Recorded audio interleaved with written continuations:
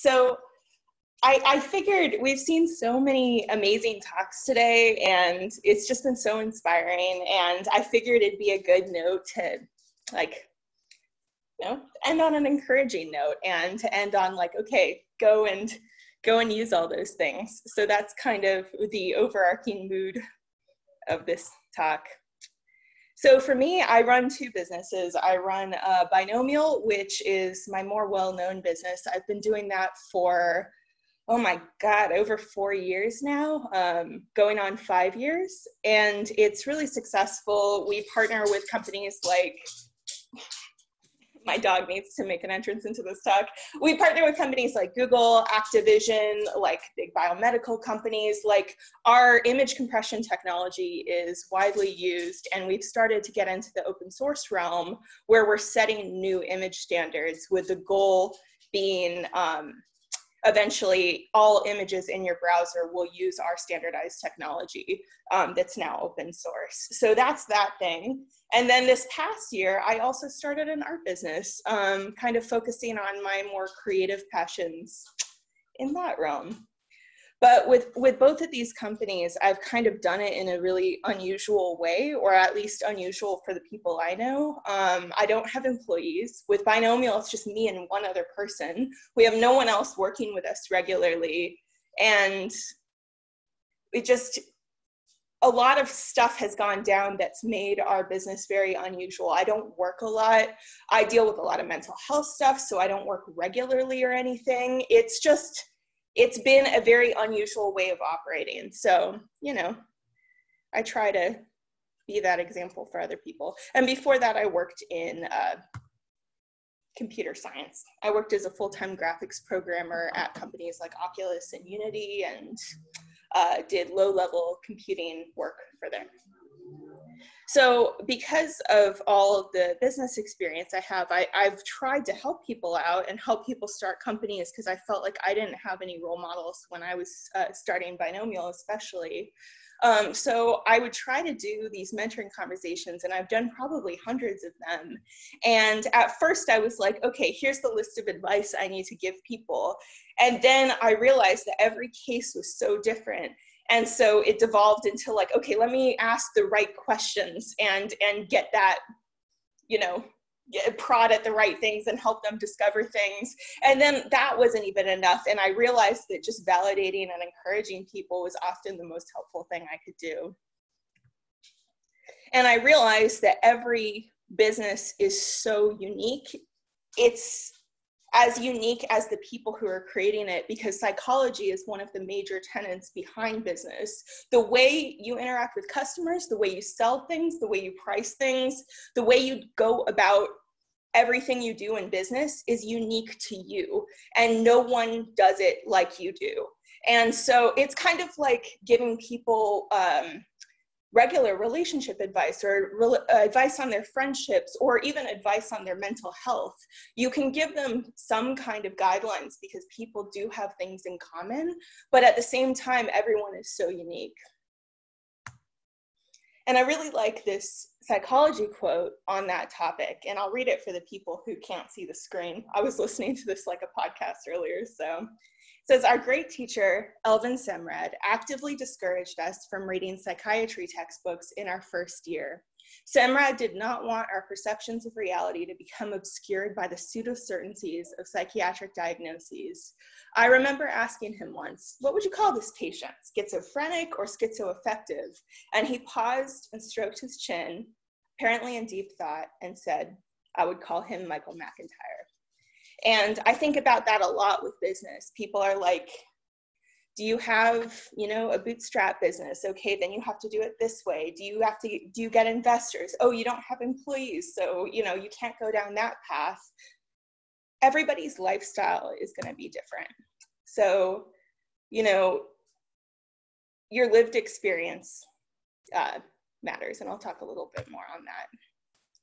So i do want to talk about my experiences, but I also want to um, kind of lead with just giving some general advice so that my experience doesn't look like a template for how to do things, because that's not what I'm trying to do. I want you to do things kind of your own way and start your business in your way and figure out what your way is.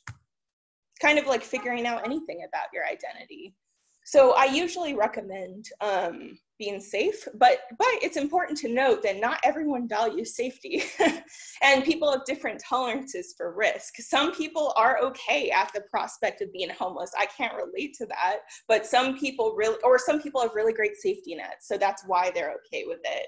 Um, other people are super conservative and like will not do anything in life without a ton of like extra savings and safety. But it's a good idea. Um, and it's important to note that when i say i want you to pursue your business ideas i'm not saying they're going to succeed. I'm just saying they can succeed. And i think a lot of people take it to extremes. Like either i'm going to fail i'm not going to sell anything or all my stuff's going to sell so i can i can just quit my job now when usually it's it's a gray area it's somewhere in between. And that brings us to like I, I always recommend iterating but not just iterating with ideas iterating with sales. Like start to sell something like a good example is the photography work I've done in the art business. I asked people, Are you interested? Are you interested? Would you buy this? No one was interested. And I just put it on the store and it started selling. And it's, and on the converse level, in my um, experience with Binomial, people kept saying they were interested in compression and in certain industries there would be tons of interest but no sales would come to it. They would even say like we will buy this from you but it never ended up selling.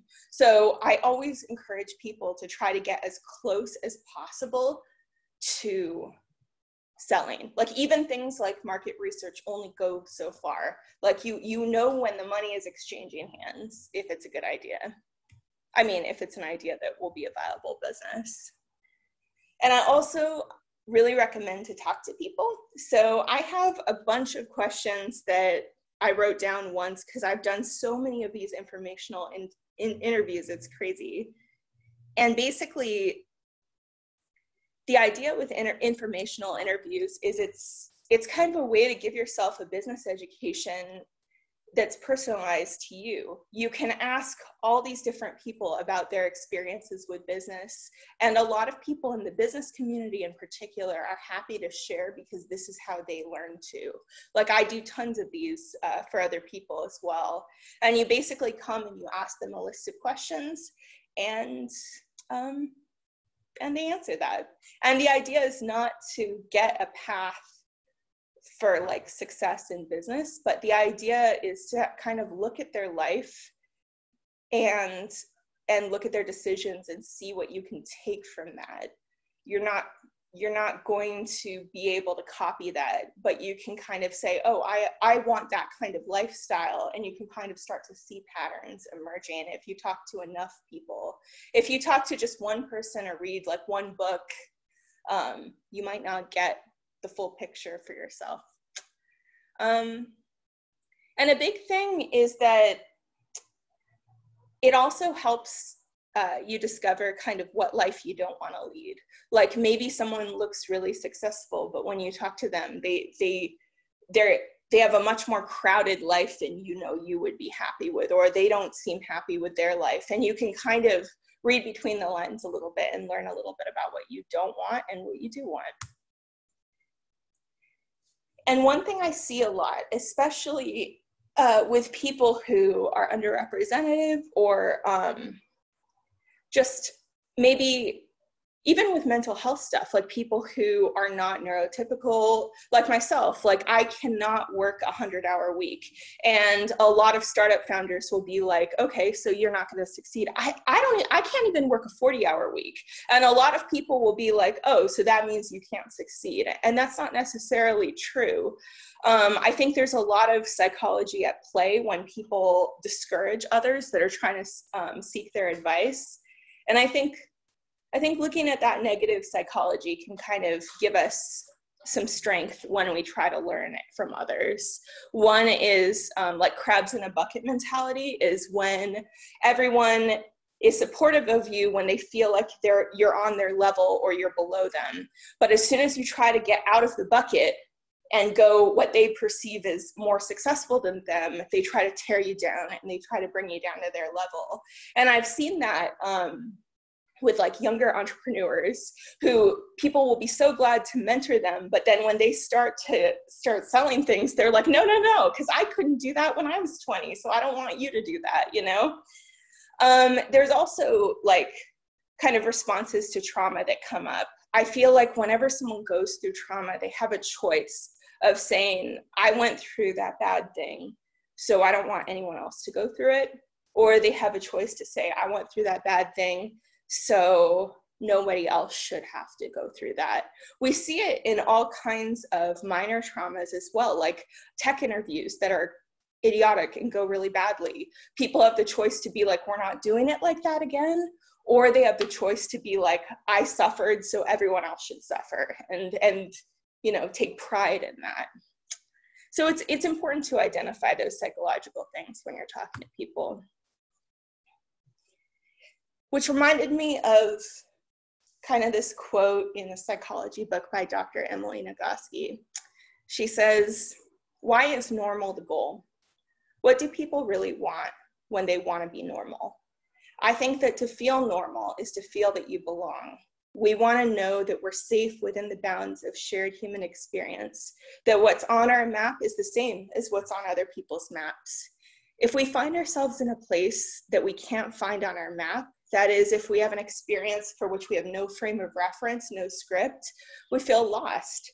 Unknown territory feels risky and it feels unsafe. But if someone comes along and says, You're okay, see, I've got this place here on my map, this is definitely part of the territory, we can relax. We know that we're still home, safe within bounds, we belong here. And I think about this a lot with entrepreneurship because entrepreneurship often looks like a route that is not modeled for us. You know my lifestyle that i lead right now um, with not working a lot with running multiple businesses with not having a team with no investors no plans to scale like that isn't really modeled a lot and that can therefore be deemed as unsafe. But it's just it's not it's just it's just not normal. And i think getting comfortable with this mindset of finding belonging, even in tracks that not a lot of people follow, is really important. And everyone's values are unique, you know? Um, for instance, I have no desire to have employees and have a team at all, none. I, I don't wanna be a manager. I don't enjoy that. But other people, that's like why they start a business. They start a business to have a team. And it's really important to kind of identify what what you personally value. I sometimes think of it like like this is a negative example but thinking of like if an evil genie came along and like granted your wishes but like found like you know you could have a team but then you'd be broke all the time. Do you still want a team? Like it's important to think of those trade-offs because you run into it all the time. Like thinking about what you really pri- like if you could be famous but broke would you be famous? You know like think about what you actually prioritize because those hard decisions often come up. The one i see a lot is people just really want a team at all costs and run their businesses into the ground because they just don't want to work alone. Um, um, or they really want investors or they want to grow fast. And yeah. So, one thing I pay attention to is I personally pay attention a lot to free time and to the money coming in. So, those and free time matters a lot beyond the the money that's safe. And then with with the art business, I focus on making sure the art I'm creating makes me happy. One thing that I see a lot is um, that people think that, you know, I'm not senior at my job yet, so I can't start a business. And I feel like this mentality trickles up even when people get to be like directors in their company because you know you always feel like oh I'm not a CEO or I'm not I'm not high enough yet. Um, but anyone can start a business I the way I see it is that a business is a, definitely a skill set, but it's not necessarily a skill set that's tied to technical ability at all. It's not even a skill set that's tied to having good product ideas. You know, we see this a lot of the time when we talk about like snaky salespeople, like you people can sell you anything if they're good enough at sales, and you could see that in a negative light as like, uh, business people can be shady all people can be shady. Um, or you could see it as a positive light of like, oh my God, I can sell my things even if they are very basic to my technical peers. And that's one thing I've noticed with the art business is that my photography and my art is, you know, what other artists might consider basic if they've gone to school for eight years in art and things like that. But there's beautiful to people who buy them. And that's all that matters. It, it doesn't need to be the epitome of, of good art. It just needs to accomplish its task.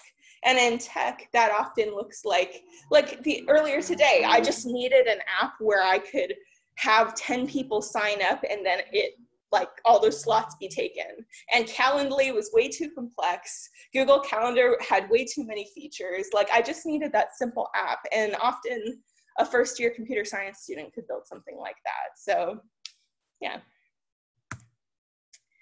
And I'll talk a little bit about my experience. do a time check. Okay, I'm, I'm all right. I'm all right on time.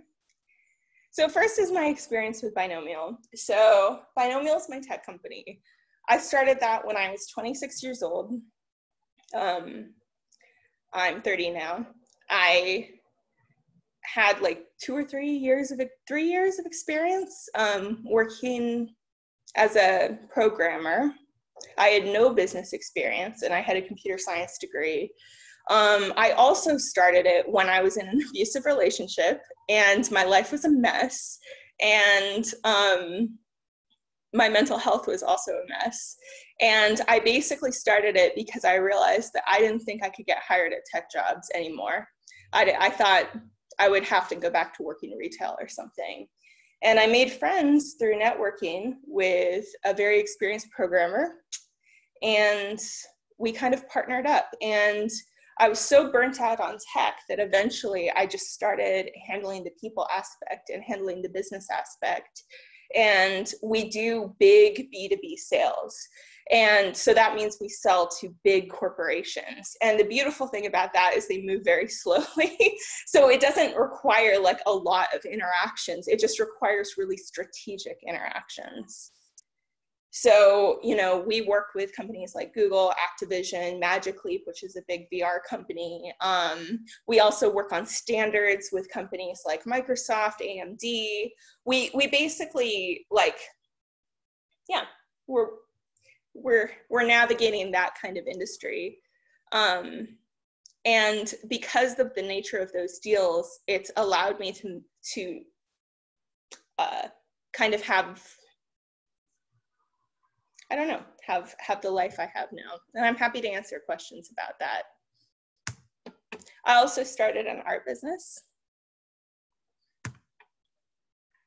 And lately, I've been focused a lot on photography because it's been selling really well. But I also um, have used my electronics knowledge to make lights and stuff. And it kind of feeds a more um, humanistic, like, direct connection with people. Like the stuff at Binomial is often very indirect, it's often very long term. Like the standards work we're doing, I'm not going to see results for that in 10 years.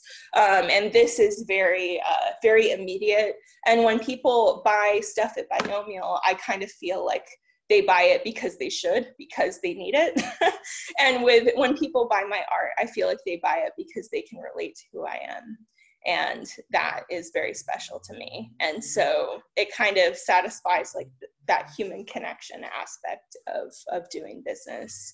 And i also sell art because i have a lot of business skills from being at the business helm of binomial for so many years that i feel like I can use those business skills to make sure art has more value. I really believe that art is undervalued, that artists undervalue themselves, and that beauty makes life worth living, at least for me. And that should be a very valued thing to bring to someone's life. And so, um, and a lot of work goes into it. So I'm passionate about that. So, you know, not everyone has to sell what they make, but a lot of people want to. And selling what you make can get you a certain freedom and can if you if you structure it in the right way can kind of allow you to live a happier life in a lifestyle that you want to live. It's not all about making money. It's about having more control over how you live your life. Um, so yeah I, I always encourage people because of that iteration cycle to try to sell their ideas as soon as possible tomorrow and not to save tons of money, not to plan too far ahead. Just try to start selling something soon. If it's a complex product, maybe um, break it down and sell something else temporarily or do consulting or just just start that cycle